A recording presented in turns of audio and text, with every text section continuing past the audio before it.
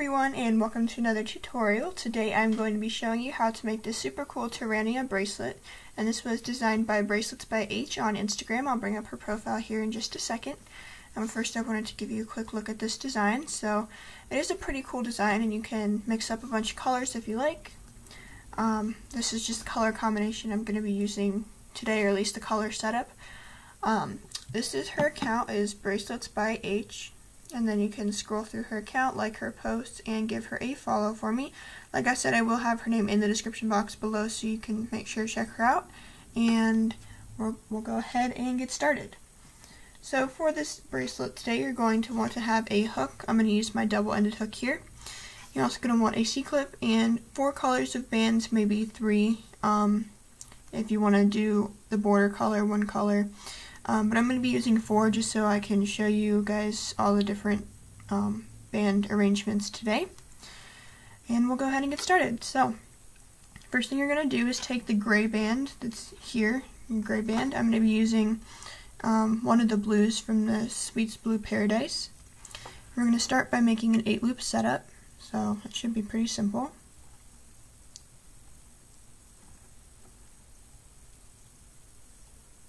Once you have four loops on one side, switch it around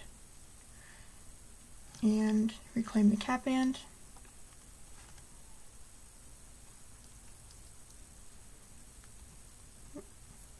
There we go. Alright, once you have eight loops, we're going to go ahead and take this first band here, and here I used neon blue. Today I'll be using white. You'll pull this through the first six loops, and you'll reclaim all of those, so put it all back on your hook, then take these outer two over to the outside.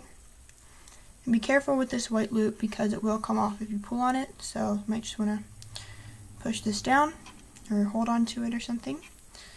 Um, but next what we're going to do is take the green band that I used in this bracelet. I'm going to use a different type of Sweets Blue pull this through the first four loops, being very careful that this white band does not come um, out of the bracelet or that it stays in the right order.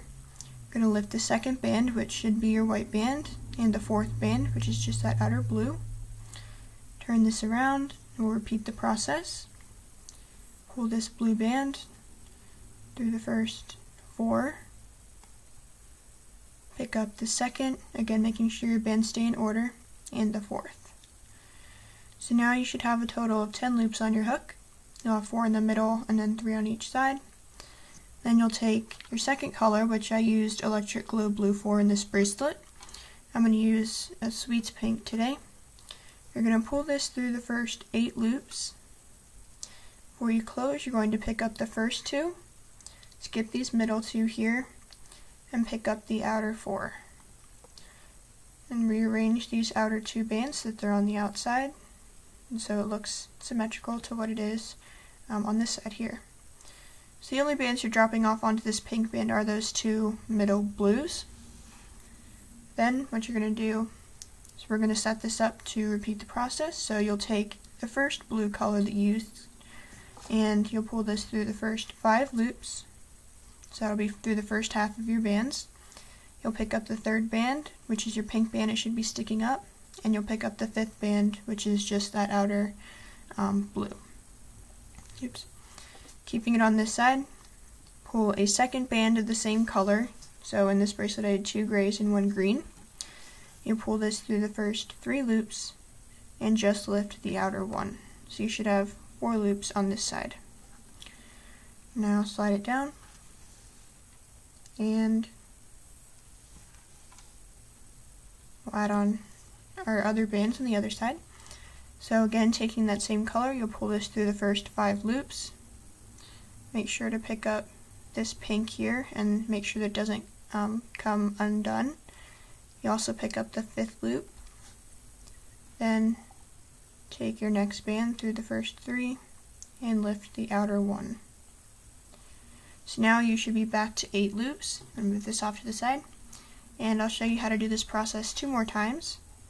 You'll take your white band now through the first six, then lift everything back up onto your hook and rearrange those outer two. Now take your secondary blue color, which looks to, you can't really see it on this camera, but um, it's a lighter blue, I guess.